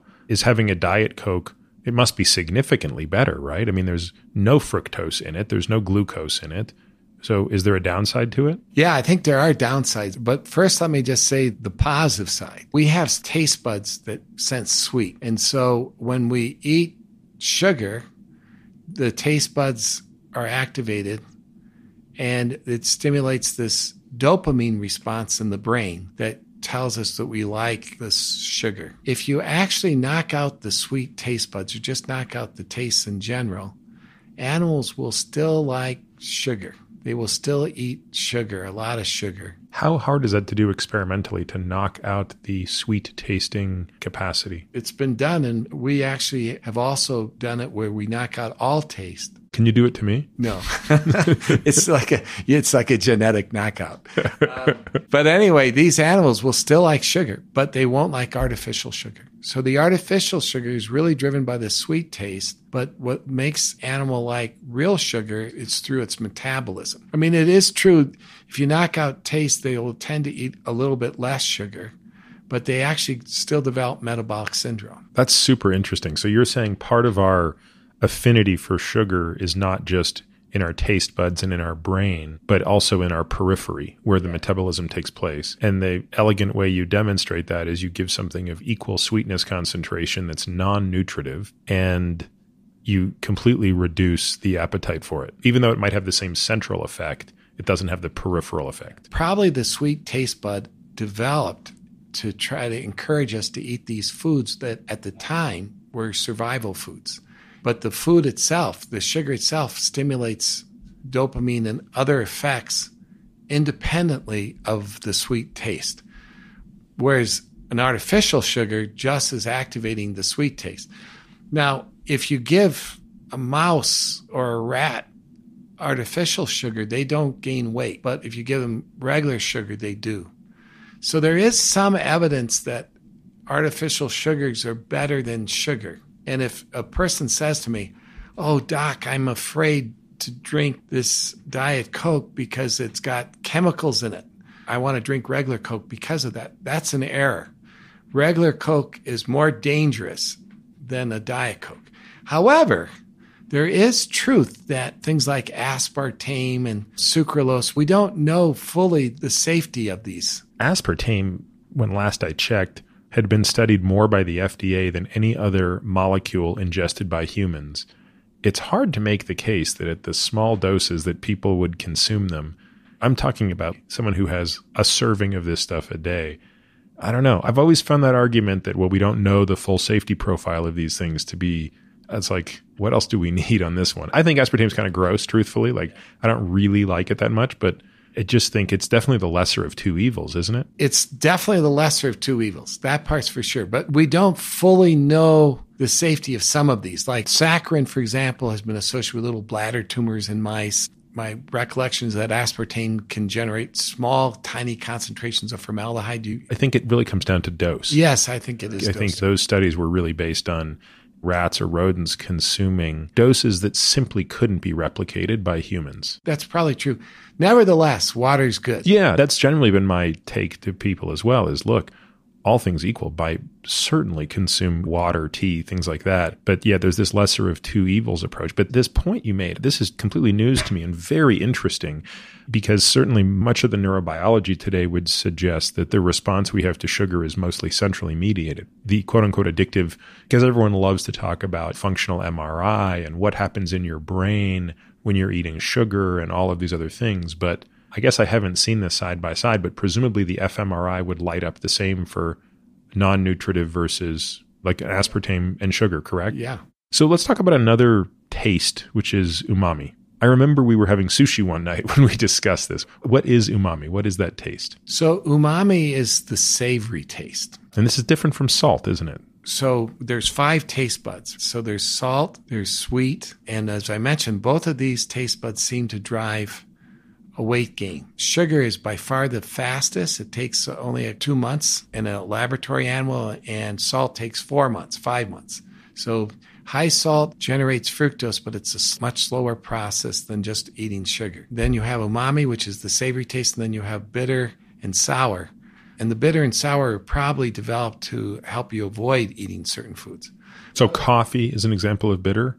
Like a coffee bean or something like a ground? I think so. Yeah. Okay. Anyway, so umami is driven by glutamate, but it's markedly enhanced by purines like IMP and even uric acid.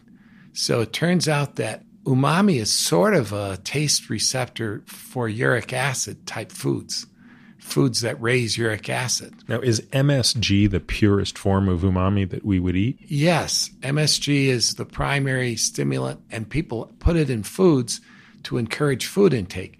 Now, there's some link of umami with obesity in epidemiologic studies, and there are situations where you can give umami type foods, and especially if, if you can do it in a liquid form, you can induce obesity.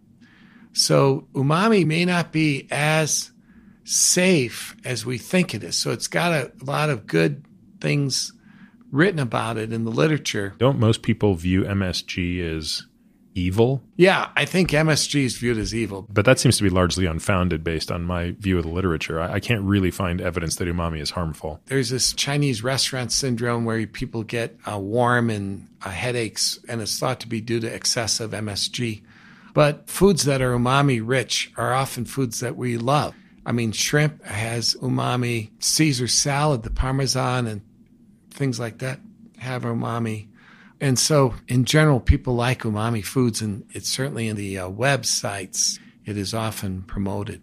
But if the umami foods have a lot of purines which enhance the umami flavor, it actually may raise uric acid and kind of bypass the sugar pathway. And we think that that may turn out to be somewhat of a risk factor too. So, do you add this to the list of things that you caution people about? We've already got the pair your salt with water idea, the restrict fructose, and please God, don't ever drink it. Do you then add the MSG containing high umami foods to that playbook for ways to reduce metabolic disease? I think so. Yeah, I think that foods like shrimps and things like that, if you eat a lot of them, they probably activate this pathway too. I, we're still trying to learn more about it, but it looks like it could be a contributor. I think it's if you rank it, number one is is sugar, and then everything else is less. High glycemic carbs can be converted to sugar. What I usually say is the big four are bread, potatoes, chips, and rice. Those four are the foods that you should reduce a little bit. Wait, chips as in like chips, potato chips? Yeah, potato chips. So you're giving potatoes two votes out of four. Yeah, well, or corn chips or, you know. Okay, got it, got it. The kind of things that people put out on their table before you eat dinner. and they coat it with salt, which isn't good. Anyway, so high glycemic carbs, I think really salty foods, drink water. I mean, that's really important. And umami, so for example, what makes beer so much more dangerous than other alcohols for inducing obesity is because beer has all this yeast in it, brewer's yeast, which basically is activating umami pathways. And it's one of the reasons we like beer. This is that cellular density issue you spoke about. Exactly.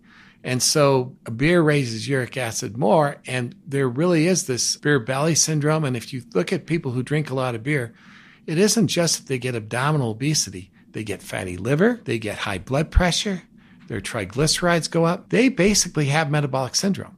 Alcohol, especially beer, can also mimic sugar. And it's probably because of the umami component coupled with the alcohol. Those two. This is the part that can sometimes drive a person insane when they're trying to think about all of these things is it's very difficult to provide clear advice to people because there's so many caveats that are required because the dose makes the poison, the speed of delivery, what it's combined with, all of these things. I'm using that as a preface to ask a question that I'm sure you get asked a lot, which is really a dose question around fructose. So let's ask it in two questions. If a person is going to drink something in the form of fructose, whether it be fruit juice or soda or sports drinks, which are from a fructose standpoint all basically the same. Is there a dose of fructose above which you think it really makes no sense under any circumstance, or below which you think once in a while is not the end of the world? I mean, personally, I would not drink any liquids that have sugar in it or fructose or high fructose corn syrup. That's fine. So we're going to draw a hard line there. And, hard and, line. Okay, now what about eating fructose in the form of fruit? Because remember, there's some big ass fruits out there. Like you look at a Fuji apple, which is my favorite apple. I mean, I like these monster Fuji apples, so they're like half the size of my head, or maybe a third the size of my head that's got to have 30 grams of fructose in it. I don't think it has that much. Oh, really? I really don't. Most apples, and that would be a big one, maybe 10 grams at most, I would think. No way. You think more? Well, think about it. These are the really big ones. Yeah, huh? yeah. I'm not talking about a little McIntosh. I'm talking about a, a huge okay. apple. And they're so sweet, too. So you may be right then. Let's talk about natural fruit. So we've actually done trials in patients with uh, low fructose diet with or without natural fruit supplements. And generally speaking, natural fruit supplements do not seem to block the benefits of a low fructose diet. Sorry, what does that mean? You mean that if you took a patient and restrict all fructose except fruit, that's correct. They tend to do okay? They did just as well as the low fructose alone. And can you quantify how much fruit? Because here's the problem when you're talking to someone like me, Rick I don't do anything in moderation. So we have these bowls in my kitchen. They're called manly bowls, which by definition, a manly bowl is a bowl that you can wear on your head like a hat. It will come over your head. and when I consume fruit, I consume it in that bowl. Yeah, I would be careful. So no manly bowls. Yeah. So the data suggests that a single fruit, maybe not the giant Fuji okay. apple. I don't know the last time I had a, a single fruit. Yeah, but a single fruit has like some fruits like kiwi and lime and lemon have almost no fructose and they're totally safe. And other fruits, pineapple and stuff, you have a fair amount of sugar. Berries, for example, blueberries have so many good things in it. You can eat a big bowl of blueberries, no problem. Raspberries, strawberries, they're all, all the berries in general are very good. Grapes, they have a fair amount of sugar. You eat a bowl of grapes, you're going to probably raise your uric acid and trigger the activation of this pathway. You eat a bowl of grapes, you might as well be eating raisins based on what my blood glucose meter tells me. Exactly. It's a disaster. Yeah. What I would recommend is to try to not eat too many fruit at one time. So, for example, there was a lady named Knotts, Cheryl Knotts, I believe is her name, and she's an anthropologist and she was studying orangutans. And there's a time when the masting season where all these fruit trees bloom and then fruit at the same time. And then these orangutans go in there and they won't eat one fruit. They'll eat a hundred fruit at one time. I'm descendants of those orangutans. Me too. so anyway, when they, what she did is she would go up and collect the urine off the trees and show that by measuring things like ketones and so forth, she could show that when they were eating the fruit, they were actually impairing fat oxidation and they were storing energy and their weights go way up. And it's because they ate so many fruit. If you eat one fruit, you're not going to do that. But if you eat a huge amount of fruit and get all that fructose, it will start to overwhelm the good things in fruit. But there's so many good things in fruit. There's vitamin C, there's epicatechin and flavonols and potassium and all these things that help fight the effects of fructose. So we generally, for patients that have uh, non-alcoholic fatty liver disease, we tend to restrict them to 10 grams a day of fructose only in the form of whole fruit. Do you think that's overly stringent or is that reasonable? I think that's wonderful if they can do it. Yeah, it basically comes down to you can have a bowl of berries no bananas, no apples, none of the high fructose fruits or even large fruits. How do you handle this with your kids? You have two kids. They're not that young anymore, but they were young during the time in which you were learning all of this stuff. How did you balance the knowledge that you have? It sucks when your dad knows more about sugar than almost any human on the planet, and you're a kid and we're wired to want sugar. How did you balance the sane delivery of this knowledge and to your family? So, first of all, things like birthdays and stuff, I let them have birthday cake. But we try to make sugar free Splenda type cakes at home. So, if we make cookies or cakes at home, we try to use Splenda. Now, there's still high carb and there can be chocolate in it occasionally, you know. So, they do get some exposure to sugar. We don't give them fruit juice and we don't give them soft. They are not allowed regular soft drinks, but they can have a diet soft drink. I have a 12 year old and a 15 year old.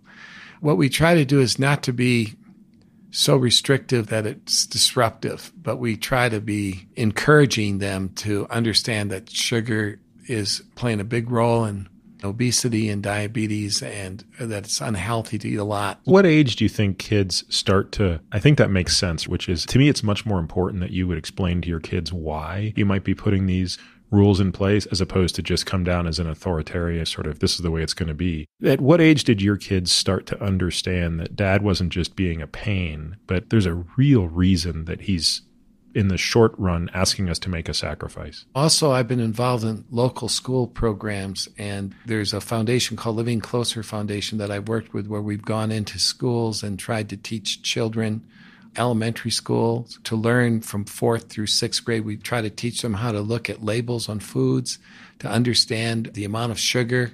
We do a, a game where we have someone come up with a cup of tea and add a spoonful of sugar to it, and the person likes it.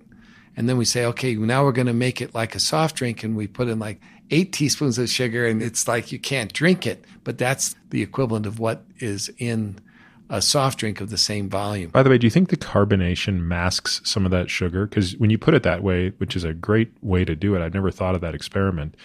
It's almost grotesque. It is. It's a great way to teach kids about. But, but sugar. do you think the carbonation makes it a little easier to consume such a high amount of sugar in a soft drink? I suspect so. I haven't tested it, but I suspect that. or the true. phosphoric acid. Like there's something else in there that makes it more palatable. yeah, maybe it's the carbonation. Probably is. What about dried fruit? Is that a no-no? You know, it was so disappointing when I realized that dried fruit was the fructose of fruits without the good things in it. So when you make dried fruit, a lot of the good things in natural fruits are lost. It's like pure fructose.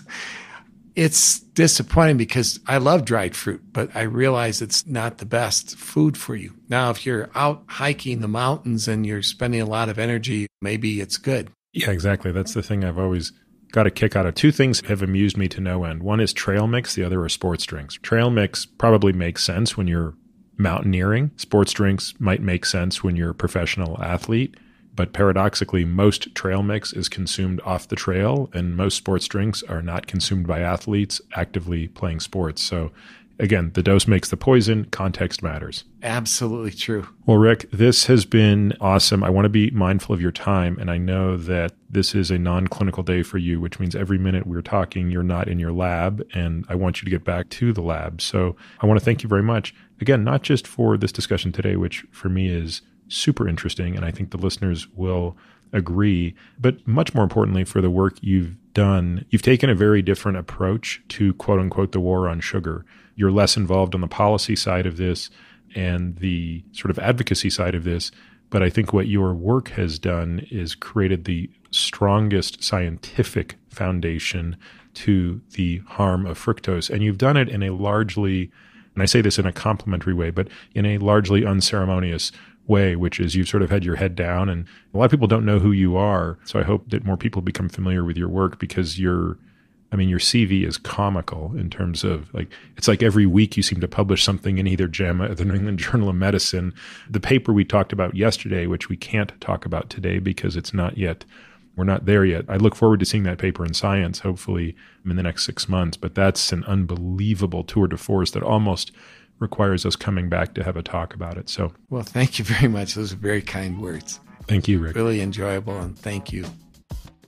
Thank you for listening to this week's episode of The Drive. If you're interested in diving deeper into any topics we discuss, we've created a membership program that allows us to bring you more in depth, exclusive content without relying on paid ads. It's our goal to ensure members get back much more than the price of the subscription.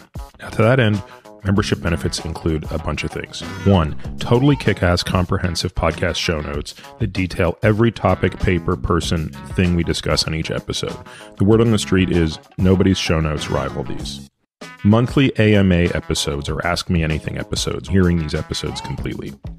Access to our private podcast feed that allows you to hear everything without having to listen to spiels like this. The Qualys, which are a super short podcast, typically less than five minutes, that we release every Tuesday through Friday, highlighting the best questions, topics, and tactics discussed on previous episodes of The Drive. This is a great way to catch up on previous episodes without having to go back and necessarily listen to everyone. Steep discounts on products that I believe in, but for which I'm not getting paid to endorse, and a whole bunch of other benefits that we continue to trickle in as time goes on. If you want to learn more and access these member only benefits, you can head over to peterattiamd.com forward slash subscribe. You can find me on Twitter, Instagram, and Facebook, all with the ID Peter Attia MD. You can also leave us a review on Apple Podcasts or whatever podcast player you listen on. This podcast is for general informational purposes only and does not constitute the practice of medicine, nursing, or other professional healthcare services, including the giving of medical advice. No doctor patient relationship is formed. The use of this information and the materials linked to this podcast is at the user's own risk. The content on this podcast is not intended to be a substitute for professional medical advice, diagnosis, or treatment. Users should not disregard or delay in obtaining medical advice from any medical condition they have, and they should seek the assistance of their healthcare professionals for any such conditions. Finally, I take conflicts of interest very seriously. For all of my disclosures and the companies I invest in or advise, please visit peterattiamd.com forward slash about, where I keep an up to date and active list of such companies.